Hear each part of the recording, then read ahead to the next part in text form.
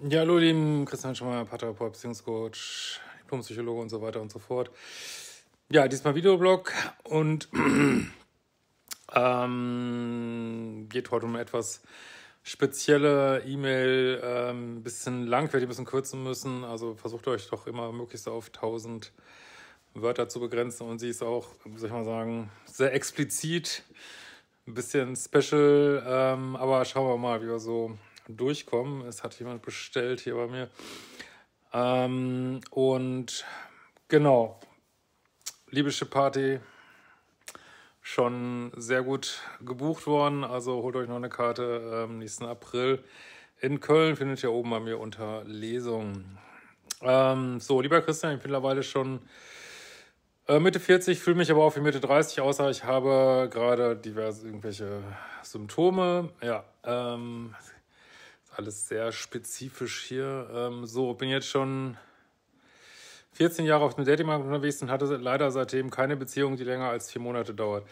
Das deutet immerhin auf mögliche Bindungsangstthemen. Ne? Wenn da so gar nichts zustande kommt, würde ich immer diese Bindungsangstkurse empfehlen bei mir. Ähm, 4, 6 und 9 sind das die Module.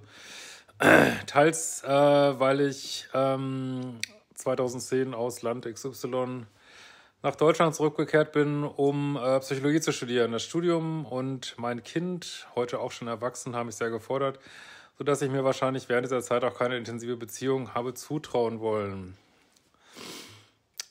Ja, trotzdem kommen ja viele so, was weiß ich, über Zufälle in Beziehungen, also wenn man so gar nicht in Beziehung kommt, wie gesagt, würde ich immer an dem Punkt mal gucken.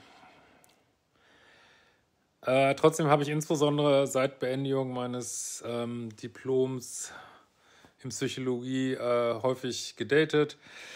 Oft mehrere Dates pro Woche, die meist nach dem ersten oder zweiten Dates bereit, bereits beendet waren. Auch das, wenn man so extrem viel datet, äh, kann jeder, kann jeder machen, was er will, das ist jetzt keine Kritik, ne? aber kann man mal ein bisschen gucken, ob man so ein bisschen bindungsvermeidend ist. Ne? Das ist ja schon sehr viel. Ne? Und irgendwann äh, kann man so einer einzelnen Person auch gar nicht mehr gerecht werden. Also deswegen ist auch so ein bisschen Grund gegen Online-Dating, vor allem wenn man das so exzessiv betreibt da ähm, ist echt schwer, dass so einer sich dann so durchsetzt irgendwie. Ne? Äh, Im Nachhinein leider auch viele Frauen, die ich nur zu 30 Prozent als passend empfand. Naja, aber 30 Prozent immer noch. 30 Prozent von 100 Dates ist immer noch eine Menge, ne? Warum ist da nichts draus geworden? Da kann man sich schon überlegen, ne? Was ist da los? Äh, seitdem habe ich auch eine Weiterbildung zum äh, Psychotherapeuten gemacht und bin jetzt letztes Jahr fertig geworden, habe eine, ja, ist ja auch egal jetzt, was für einen Job er hat. Ähm, zum Thema, ich habe dysfunktionale Bindungsmuster im Sinne, dass ich auch Frauen treffe und anziehend finde, die nicht emotional verfügbar sind. Ja, das haben wir hier fast alle so Muster. Äh, noch mit dem Ex-Partner nicht abgeschlossen haben, aber unverbindlich bleiben wollen. Ja, man kann halt immer gucken nach Anziehungspunkten, welche Teile in dir sind nicht verfügbar, ne? Was, ähm, welche Ängste hat man vor stabilen Beziehungen? Welche Ängste hat man vor echter Nähe? Das ist ja alles auch eine Vermeidung von echter Nähe, so, ne?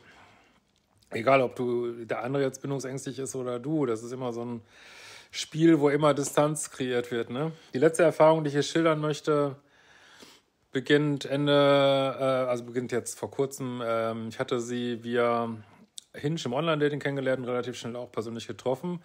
Beim ersten Date äh, kam sie 25 Minuten zu spät. Ist schon eine Menge, ne? Aber gut, kann ja mal passieren. Aber wird, ich sage ja immer so, was wird beim Forschungsgespräch wird es nicht passieren, ne? Da nimmt man sich genug Zeit, guckt auf Google. Oder wenn du, ähm, ich sage ja immer, äh, Brad Pitt, gibt es natürlich aktuellere Beispiele. Wenn du Brad Pitt treffen würdest, würdest du zu spät kommen? Wahrscheinlich nicht, ne? Von daher kein gutes Zeichen. Sie war dazu noch sehr verärgert über sich selbst und ich habe sie sozusagen schon beruhigen müssen, bin in die Rolle des Beruhigers gerutscht. Sie sah auf den ersten Blick aus wie ein Erotikmodel mit Push-Up-Schminke und hatte braune Rehaugen, die Wärme und Verletzlichkeit ausdrücken. Ich weiß gar nicht, was ich dazu sagen soll, was du hier. Also für mich ist das jetzt nichts Positives unbedingt. Erotikmodel mit Push-Up und Schminke und wirkt ja so ein bisschen so wie so Attribute. Ich will dir jetzt nichts unterstellen, vielleicht ist eine ganz nette Frau, aber äh, von, von einer oberflächlichen Frau so. Ähm, ja, keine Ahnung. Das Problem haben es auch viele, die so ein bisschen bindungsängstlich sind, dass sie so nur nach Also ganz oberflächlich nach Optik gehen und gar nicht gucken, ob da, ähm, wie viel Kompatibilität ist da und weil es ja unbewusst gar nicht darum geht, eine echte Nähe herzustellen. So. ähm, fanden uns beim ersten Date äh, gleich sympathisch. Beim zweiten Date trafen wir uns, gut, Details müssen wir jetzt auch nicht, also wir trafen uns zum Essen. Allerdings fiel mir damals schon auf, dass sie wenig Fragen bezogen auf mich, mein Leben, meinen Job, meine Interesse, Interessen formulierte. Na, du deutest ja hier ein Liebeschip an von Frauen, die nicht verfügbar sind. Und das sind natürlich Frauen, die, die auch nicht fragen auf dem Date, die einfach distanziert sind, sich um sich selbst drehen. Also fast alle Männer, die bei mir landen, ja, haben irgendwie minuspolige, um sich drehende Frauen äh, gedatet, die dann zwar partiell sehr verletzlich wirken, aber sich auch sehr um sich drehen. Das ist ja immer diese ewige Mischung ne? von jemand, der sich immer um andere dreht, mit jemandem, der sich nur um sich dreht. Das sind halt diese beiden Modi, ne? was ich auch in meinem Modul 1 immer wieder sage, die sich oft finden in dysfunktionalen Familien. Also entweder geht man in die Richtung oder in jene Richtung und die finden sich häufig zusammen auf eine ungute Weise. Ne? Äh, so. Gut, mit dem Ex können wir, von ihr können wir, glaube ich, auch äh, vorauslassen, außer dass es eine On-Off-Situation war, ihr Ex. Ähm, ja, auch wieder sehr dramatisch, äh, wenn ich hier einfach nur so Wörter lese wie ähm, rausgeschmissen, Facebook, ausgegeben, in Clubs ausgegeben als Single. Also scheint auch Drama zu lieben, dein Date hier. Die Gespräche beim Date gingen schon zu einem gewissen ungesunden Maß über Situationen von Anna Tevkola, Ähm, beim dritten Date kam sie zu mir und wir kochten zusammen. Das war schön. Wir kuschelten und hatten noch etwas Peting. Äh, wir gingen zusammen ins Kino und auch das war schön. Und beim fünften Date war ich etwas krank und sie kochte zusammen mit mir.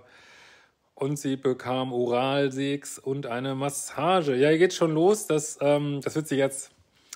Ich habe mal ein bisschen weiter gescannt schon mal. Das wird sich jetzt so durchziehen, dass du ähm, deine Date hier bedienst vor und zurück irgendwie, ne? So. Äh, und für dich aber nichts nimmst, so, ne? Also hier haben wir, glaube ich, so ein bisschen, wollten wir ja mal ein bisschen mehr fokussieren in Zukunft. People-Pleaser-Geschichten. Also kann man aus dieser einen Sache jetzt natürlich nicht sehen, aber ich weiß, dass sich das hier so fortsetzen wird. Ähm, da ich eher ein ängstlich unsicherer Typ in Beziehung auf Sexualität und Potenz bin, habe ich mir Testosteronprodukte genommen und mir viele Videos angesehen, um eine gute Erektion zu haben. Also, das ist alles bisschen speziell und mir eine Penis-Vakuumpunkte gekauft. Also pass mal auf, wenn du, ist ja schlimm genug, wenn du jetzt Probleme hast, körperliche Probleme in deiner Sexualität, ja, dann gehst du zum Arzt und lässt dich da einstellen und nimmst nicht selber irgendwas, würde ich mal vorschlagen. So, ne? Und ähm, weil das sind ja schon heftige ähm, Methoden, die du hier benutzt. Also wenn du da vermute mal Erektionsprobleme hast, ähm, lass sie ordentlich behandeln. Da gibt es ja wirklich eine Menge Möglichkeiten. Das ist ja auch nicht, ist ja nichts Verwerfliches, kann man ja haben. Und ähm, aber mach, mach da nicht so viel selbst. Kommt mir ein bisschen vor, als wenn du dich da so selbst behandelst. Das wäre jetzt nicht so gut, ne? Äh, äh, ich wollte es nicht vermasseln und sie befriedigen können. Da mal wieder dieses People-Pleaser-Ding, ne? ich muss gut genug sein, ich muss sie befriedigen können. Ich, äh, es geht nicht um dich, ne? Es geht nur um sie, ne?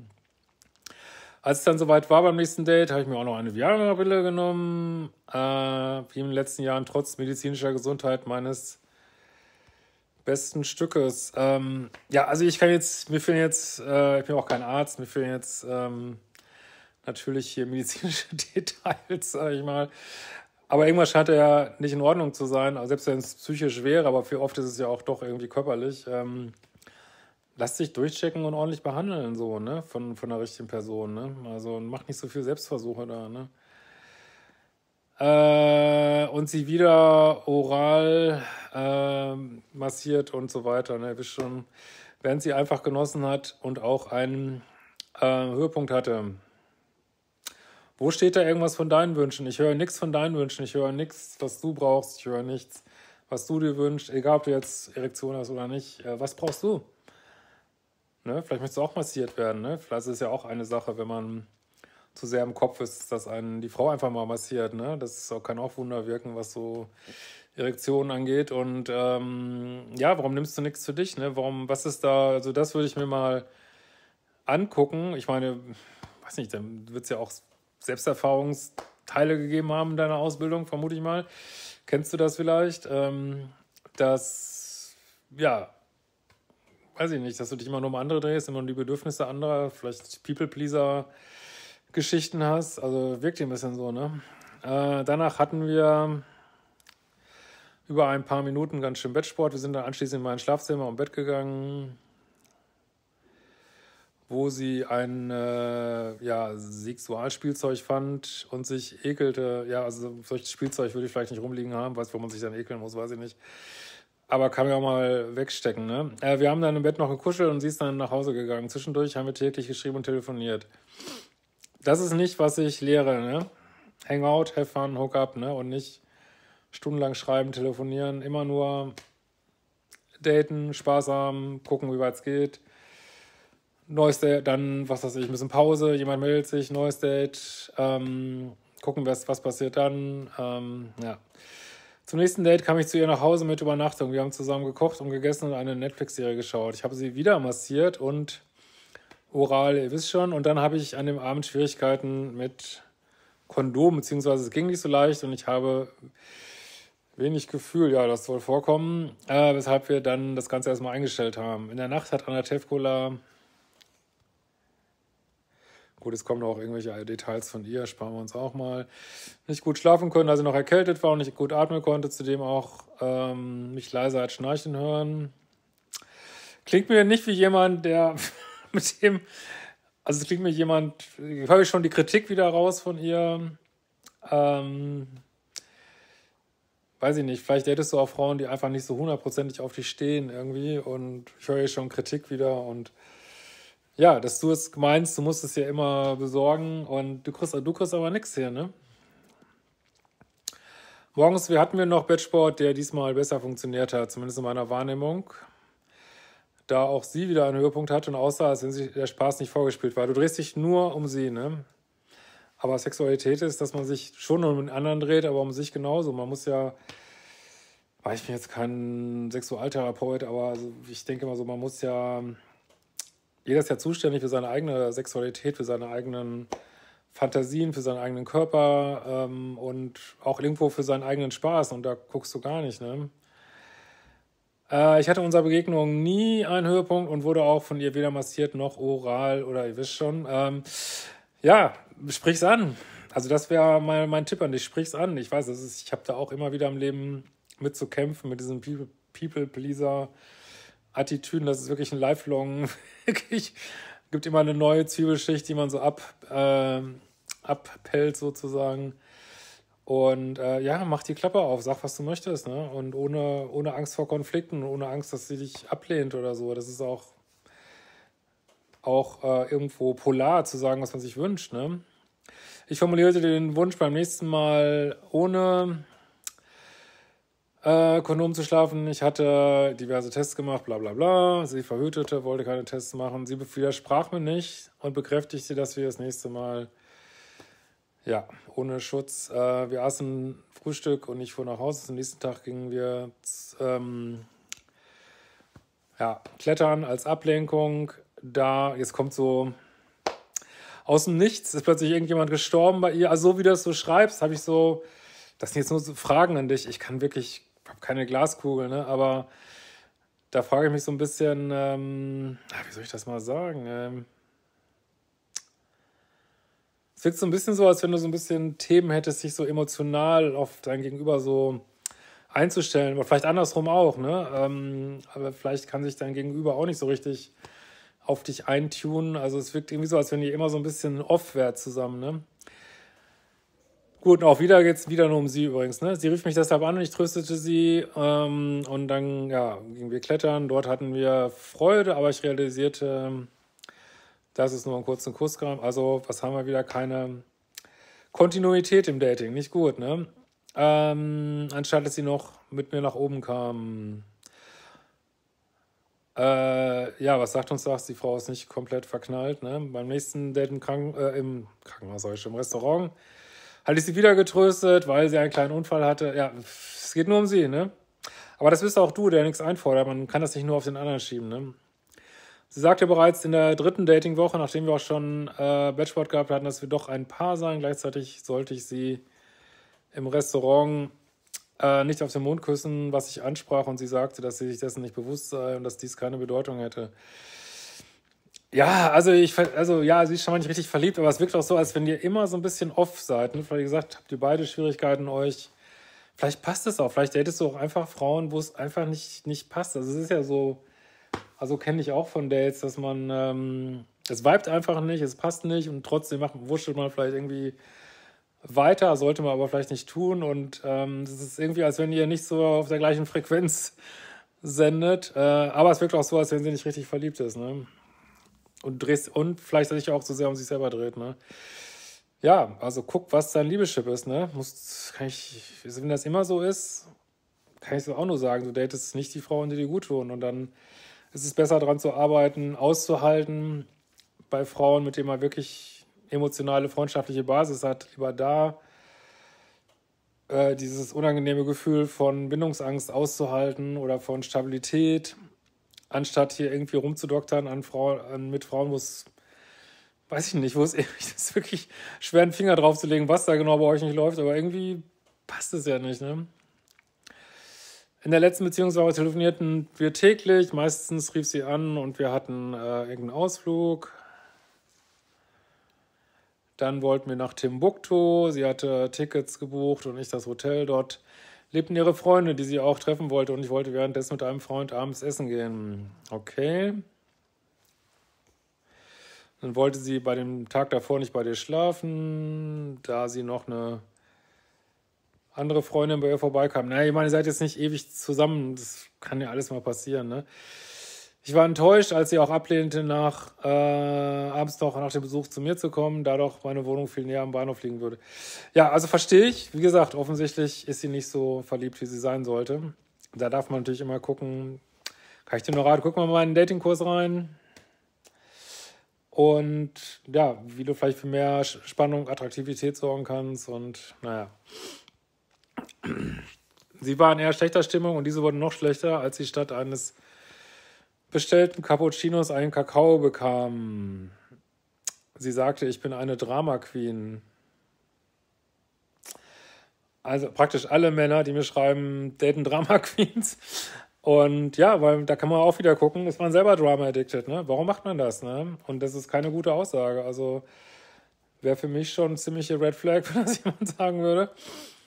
Ähm, und ja, klar, wenn sie dann einen riesen Aufriss, meine, klar, wenn man kaputt, wenn man Kakao bekommt, will man nicht haben, ist natürlich scheiße. Ist jetzt alles nicht so extrem, finde ich, aber ja, keine gute Aussage, ne? Ja, auch auf dem Weg nach dem Buckte wurde die Stimmung nicht besser, als sie ein Zwiebelbrötchen aß und ich sie dann küsste und über ihren Geruch witzelte. Ja, das, finde ich auch nicht gut. Mein Gott, dann isst sie halt ein Zwiebelbrötchen, dann kannst du ja trotzdem küssen. küssen. Warum musst du dann sagen, sie riecht schlecht. Also, das finde ich von dir jetzt Distanz erzeugen, ne? Da würde ich, wenn die Frau jetzt schreiben würde, würde ich auch sagen, okay, fängt der Mann wohl schon mit der Kritik an, ne? Jetzt kreierst du Distanz hier, ist auch nicht gut, ne? Gespräche drehen sich leider wieder nur um ihre Familie. Ja, nicht, hatten wir schon. Ich bin als Psychologe und Therapeut oft in die Rolle des Zuhörers und Verstehers gerutscht.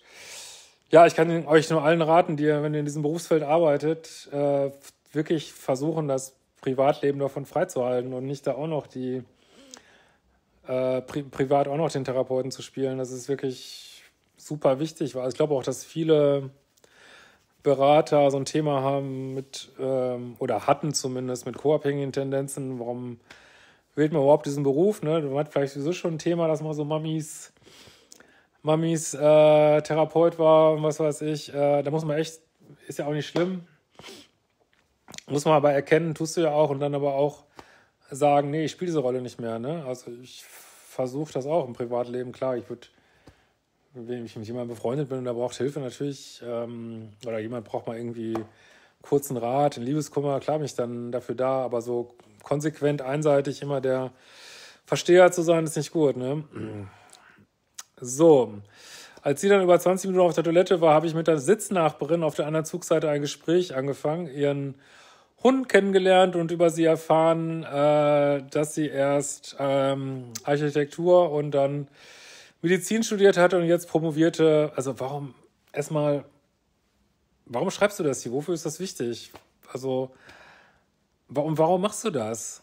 Also sie geht auf Klo und du hast gleich mit einer anderen Frau angemeldet. Findest du das nicht selber ein bisschen toxi irgendwie? Ähm, warum? Das ist total off und weird irgendwie, ne? Also mich würde das total abfacken als Frau, ne? Sag dir ganz ehrlich, ne? Ganz spannende Frau tatsächlich. Vielleicht im eigenen narzisstischen Anteil berichtet, berichte ich später ähm, Anna Tefka über das Gespräch. So, jetzt hat sie es noch nicht mal mitgekriegt. Jetzt muss sie das auch noch auf die Nase binden. Das ist wirklich, das wirkt so von dir so minuspolig, jetzt sag ich mal. Das ist so, hey, ich habe gerade irgendwas gemacht, was, was dir wehtun wird. Und weil du es nicht mitgekriegt hast, sag ich es dir jetzt nochmal. Mm, das, äh, weil du ja schon weißt, dass das vielleicht nicht so der beste Anteil ist in dir, ähm, lass, dann versuch's doch zu lassen irgendwie, ne? Was ich, glaube ich, überhaupt nicht gut fand. Ach, ne, da wundern wir uns jetzt, aber ein Mann sollte nicht einfach so mit anderen Frauen sprechen und auch möglichst keine Freundschaft mit Frauen pflegen. Ja, gut, das ist jetzt eine andere Sache mit Freundschaften, aber ey, ihr seid gerade frisch zusammen und du machst da irgendwelche anderen Weiber an im, im Zug. Was soll das, wirklich? Im Hotel angekommen, sprang ich gleich aufs Bett und war ready für eine Session. Doch Anatevka pfiff mich zurück und beschwerte sich, dass ich mit der Straßenhose aufs Bett ging. Gott, die ist aber echt. Aber oh, ihr seid beide echt so kompliziert. Vielleicht wäre es besser, ihr würdet beide jemand daten, der nicht so kompliziert ist wie. Ist ja nicht schlimm, also man kann das ja auch nicht abstellen manchmal. Aber es ist dann besser, wenn einer nicht so kompliziert ist, auf jeden Fall. Ne? Und ich setze mich wieder hin und trank einen Kaffee mit ihr und ging dann auf ihren Wunsch gleich wieder nach draußen. Und ja, sie vermeidet Intimität hier, ganz klar. Ne? Es zeigt, dass sie irgendwie schon wieder auf dem absteigenden Ast ist. Ne? Ich war enttäuscht über ihre Abfuhr. Ja, verstehe ich total. Ähm, Weihnachtsmarkt, Restaurant. Äh, schließlich war ich um 18 Uhr mit Kumpel verabredet. Sie sagt, wir, wir treffen uns dann irgendwann im Hotel, was ich auch nicht sehr verbindlich oder partnerschaftlich fand. Geht einfach nicht so gut weiter. Ne? Also ich weiß natürlich auch nicht, wo das jetzt falsch abgebogen ist, aber also man merkt, dass sie irgendwie nicht in Kontakt kommt. Also wenn du so lange eine Frau datest, mit der man eigentlich nicht in Kontakt kommt, da scheint ja irgendwas zu sein, dass du das ansteuerst oder auch tolerierst oder diesen Nicht-Kontakt, das würde ich mir echt mal angucken. Ne?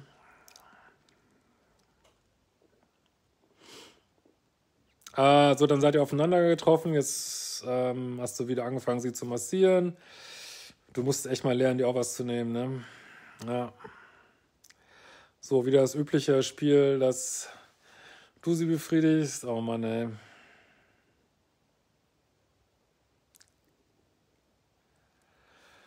Gut, dann ist das, äh, gab es wieder Themen mit Kondomen, dann wolltest du ohne, sie wollte aber mit und fühlte sich unter Druck gesetzt, was ich respektierte. Alles ist gut. Äh, aber auch da, irgendwie kommt ihr nicht zusammen. Ne? Äh, ohne Gespräch lagen wir beide bis zum Morgen am Ende des Bettes mit riesiger Lücke zwischen uns und keine Worte. Ach, das ist immer so schrecklich, wenn es dann nicht vibet und dann so sprachlos wird. Ne? Äh, am Morgen konnte ich mir dann fragen, was ist eigentlich los, wenig Rückmeldung bekommen, außer ich bin nicht verliebt und es passt, glaube ich, nicht. Ja, ist, glaube ich, eine sehr ehrliche Aussage. Trotzdem fragte ich sie, was wir jetzt machen würden. Ja, du gehst einfach auch da wieder nicht drauf ein, ne? Da muss man doch, würde ich sagen, bleibt im Gespräch und sagt, okay, passt nicht. Okay, was machen wir jetzt?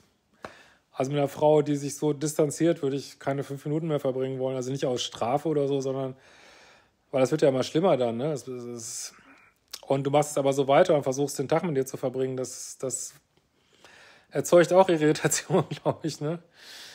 Ähm ich erklärte ihr, dass ich es seltsam empfand, dass sie mit zu meinem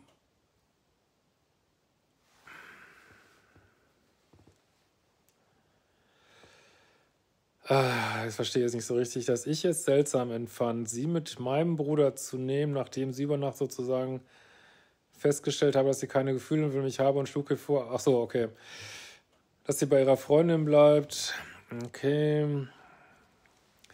Dann versuchte ich nochmal rauszufinden, was sich verändert hat.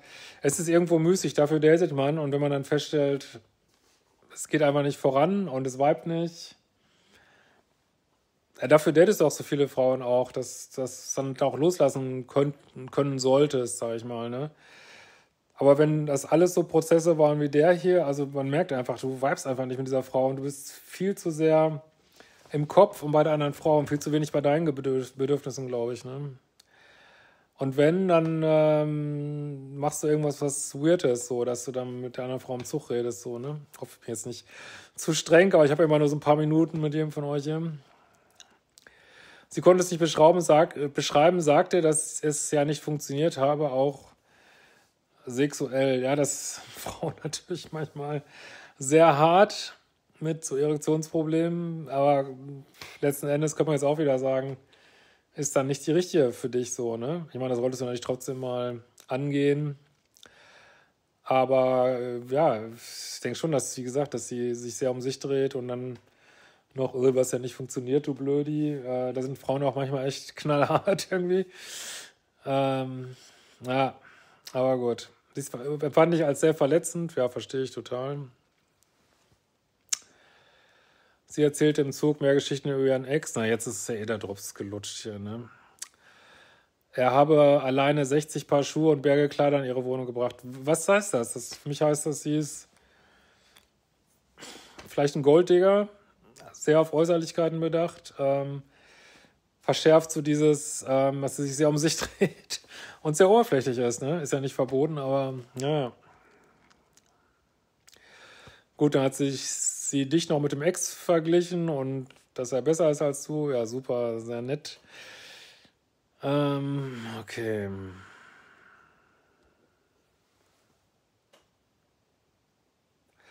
So, dann seid ihr scheinbar so, äh, also hier ist jetzt wirklich spätestens der Moment, wo man einfach Schluss machen sollte. Ne? In der Woche danach äh, konnte ich nicht so gut schlafen, konnte mich wenig ablenken, trotzdem ich viele Freunde traf. Ich vermute mal, dass sich das auch sehr verletzt hat jetzt hier, ne? aber Deswegen sollte man auch nicht so Frauen daten, die so unempathisch sind, wobei du auch so ein paar unempathische Punkte hier gezeigt hast. Aber ähm, ja, es ist, glaube ich, müsstest das sowohl in dir aufräumen, als auch diese Frauen nicht mehr daten, die so sind. Ne? Schließlich bekam ich vom Urologen noch meinen Testosteronblutwerte mitgeteilt. Ähm, und also ich bin jetzt kein Arzt, aber die Werte, die ich jetzt hier sehe, scheinen mir tatsächlich sehr stark nach unten abzuweichen. Ähm, also was heißt das? Äh, lass dich ordentlich behandeln, ne? Und mach nicht so Selbstgeschichten. Und wenn, wenn der da nichts äh, macht, dann ähm, hol dir eine Zweitmeinung ein, weil also super niedrige Testosteronwerte sollte man behandeln, denke ich. Ne? Wie gesagt, ich bin jetzt kein Arzt, aber so was mein so Laienwissen angeht in dem Bereich. Ähm, und klar kann das, also gibt es zwar nicht so eine 1 zu 1 Beziehung zu Erektion, glaube ich, aber eine gewisse denke ich schon, wenn das jetzt viel zu niedrig ist. Und ähm, würde ich unbedingt angehen, dass du körperlich ähm, weißt, äh, so ich bin gut aufgestellt, weil die Psyche kann dann natürlich noch genug äh, reinspielen, aber man sagt ja so, dass es viel häufiger körperliche Probleme sind, als man so denkt, irgendwie. Ähm, und bekam Selbstzweifel, ob ich sexuell, psychologisch verkorkst bin oder die Testosteronwerte biologisch oder durch zu viel Arbeitsstress herkommen. Also sie sind tatsächlich, wie gesagt, Laienwissen so niedrig, dass ich denke, das musst du unbedingt weiter abklären. Ich denke, das sollte er auch gesagt haben. Also ich glaube nicht, dass ähm, weiß ich nicht. Es gibt, glaube ich, auf jeden Fall Abklärungsbedarf, würde ich mal sagen. Ich zweifelte auch, ein interessanter Typ zu sein, äh, verglichen mit diesem Ex mit 60 Paar Schuhe. Ja, also wir alle mögen Ablehnung nicht beim Dating, vor allen Dingen, wenn man schon fünf Wochen zu tun gehabt hatte. Ähm, aber weiß ich nicht, jede Ablehnung ist auch eine Chance. Jede Ablehnung ist auch eine Botschaft vom Universum. Ihr passt einfach nicht zusammen. Ne? Das darf man auch nicht zu persönlich nehmen. Und wie gesagt, er muss dringend an diesen People-Pleaser-Anteilen arbeiten. Und aber auch an diesen Sachen, wo du vielleicht manchmal off bist. Ne? Also Vielleicht musst du dir nochmal mehr Feedback holen von Freunden oder, oder keine Ahnung. Also bist ja selber vom Fach. Ähm, aber ich reagiere wahrscheinlich so stark emotional und gekränkt, traurig und wütend, da ich bereits in einer Kindheit wenig Intimität mit Eltern und Mutter hatte. Ja, okay, jetzt die bestimmt, wird das irgendwie damit zusammenhängen. Gut.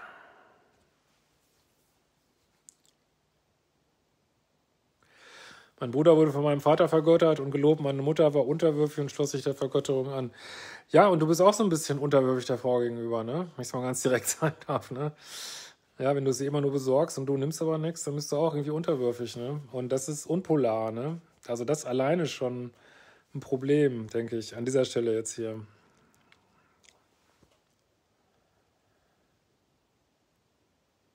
Ich war echt äh, motiviert, nach 14 Jahren kurzen Beziehung mal eine ernsthafte und lange Beziehung zu führen und habe mich emotional geöffnet. Nee, wenn du dich emotional, also hast du vielleicht auch, aber mehr geöffnet hättest, hättest du gesagt, hey, jetzt bin ich mal dran hier beim, beim Sex irgendwie, ne? Da hast du dich, also öffnen heißt nicht immer nur dem, dem anderen zu Diensten sein, sondern heißt auch äh, eigene Bedürfnisse zu, zu, sonst kann keine Nähe entstehen, ne? Äh, und die Frau ist wirklich nicht geeignet dafür, wirklich nicht. Also wenn die jetzt rausgesucht hast aus den vielleicht hunderten Frauen, dann solltest du echt mal auf dein Liebeschip gucken, ne? So, süße Stimme, Traumkörper, ja, klar, gucken wir Männer drauf, trotzdem, ja. Sehr im Ego, wie mir scheint. Äh, eigentlich mag ich natürlich Frauen, aber lande doch oft bei einer ganz anderen Frau und verliebe mich in Frauen, die mich kaum sehen und sich wenig für mich interessieren. Ja, das sehen wir hier ähm, eindeutig. Also deswegen heißt es für dich, glaube ich, Umprogrammierung des Liebeschips. Ne? Ich habe an der Tefka gestern noch WhatsApp-Feedback geschrieben. Was soll das? Es ist over. Da kommt nur Müll raus, ey. Es ist over. Wirklich, dann geh, geh raus aus dem Scheiß, ne? Dass ich das Ende wenig empathisch fand und mir gewünscht hätte, dass mir ihre Gefühle, ja, was, aber wenn man jemanden abschießt, das ist nie schön. Ne? Was soll sie denn da sagen? Soll sie da noch ein, äh, ein Krönchen dran machen oder die Blumenstrauß schenken zum Abschied? Ähm, klar hätte sie das ein bisschen netter machen können, aber sagen, ey, ich glaube, es passt nicht und nicht noch, oh, du hast es im Bett nicht gebracht oder so, wenn ich das so richtig verstanden habe jetzt hier. Ähm, also so hat sie es ja auch nicht gesagt, sondern dass es irgendwie nicht gepasst hat. Das finde ich auch, hätte sie sparen lassen können, aber das, so ist sie, glaube ich, ne? Aber okay, wenn du meinst, musst du das noch schreiben, aber es wird nicht gut ankommen, denke ich, ne? Ich habe ihr leider auch geschrieben, dass ich mich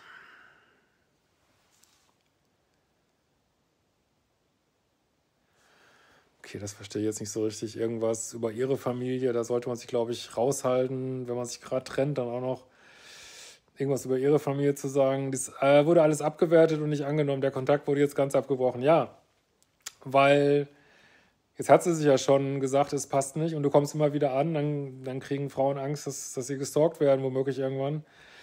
Und dann wird lieber gleich, ups, null Kontakt so, ne? Ich fühle mich nicht gut, teilweise halte ich mich für beziehungsunfähig und komme mir auch in der kurzen Beziehung irgendwie schwach und ausgenutzt vor. Ja, also wie gesagt, es ist jetzt nur eine Mail, aber ähm, erstmal sollte man sich auch gucken, dass man sich nicht Leute aussucht, bewusst, unbewusst, die einem vielleicht ausnutzen. Und dann solltest du auch ganz bewusst mehr nehmen. Das ist ja auch, ne? Und das sehe ich hier nicht so, ne? Ich habe mir Mühe gegeben, auf ihre Bedürfnisse einzugehen. Ja, ich denke, das ist hier People-Pleasing, ne? Und habe halt wenig dergleichen von ihr erfahren. Das ist ja im People-Pleasing immer, dass man denkt, man äh, kriegt viel, wenn man viel gibt, aber ich glaube, wir wissen alle, dass es nicht funktioniert. Ne? Was muss ich anders machen? Welche Verhaltensweisen? Ja, ich glaube, das habe hab ich jetzt gesagt. Und nicht zuletzt bleiben Selbstzweifel bezüglich meiner Sexualität und meiner Männlichkeit. Bin sehr groß, muskulös, schlank, sportlich, äh, guter Beruf und glaube auch interessant und gar nicht hässlich. Ja, ist alles gut, aber ich würde auf jeden Fall an der Polarität arbeiten und das andere würde ich versuchen, medizinisch anzugehen. Ne? Und nicht so in Selbsttherapie oder so. Ne? Allerdings habe ich hunderte Dates gehabt, ohne dass ich mich verliebt habe. Da, du weißt, wo du da gucken musst, come on. Ey. Meine längste Beziehung war mit einer Frau mit äh, Borderline und Suchtproblemen. Muss ich jetzt, glaube ich, auch nicht viel zu sagen.